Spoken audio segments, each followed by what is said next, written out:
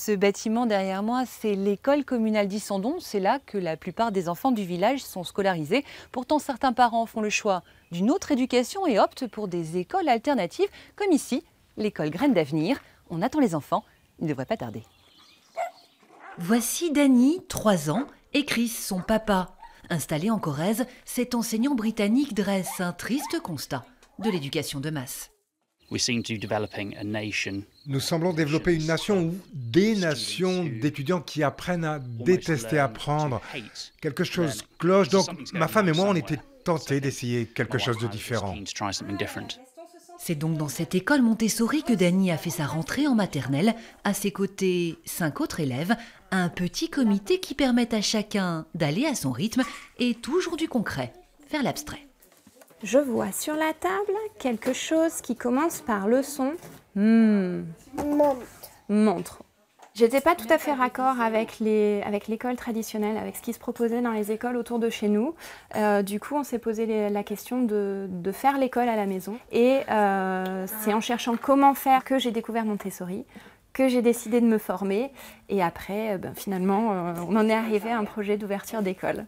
Avec l'autorisation de l'Académie, cette ancienne décoratrice a transformé sa maison en école, compté 2640 euros pour l'année, le prix d'une éducation personnalisée. Ici, Céleste, à 5 ans, elle sait déjà lire et grâce à ses cubes de perles, la petite fille maîtrise même les soustractions à quatre chiffres. 2, 3, 4. Voilà, en Corrèze, ces méthodes alternatives font des émules avec quatre projets d'écoles privées hors contrat, dont une à Neuvik, où je vous propose d'aller. Voilà un an que ces trois enseignants planchent sur leur projet d'école démocratique, un programme qui respecte le socle de compétences exigé par l'éducation nationale, mais qui s'appuie sur les centres d'intérêt des enfants de 6 à 19 ans. On a un certain nombre d'élèves euh, qui euh, cherchent du sens dans euh, nos classes.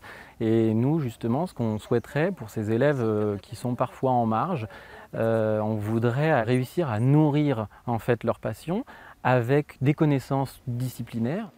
En clair, un enfant passionné par le système solaire pourra aborder des notions de physique, mais aussi de mythologie ou d'art plastique. Même chose pour les curieux de nature, grâce au potager de l'école.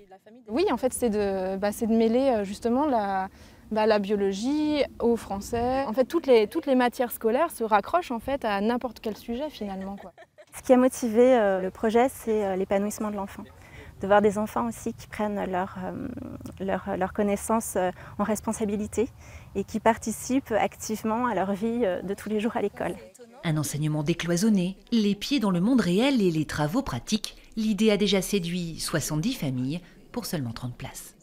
Voilà, et pour euh, mener à bien son projet, l'école naturelle recherche actuellement un écolieu pour s'installer entre Égleton, Mémac et Ussel pour une ouverture prévue à la rentrée 2020.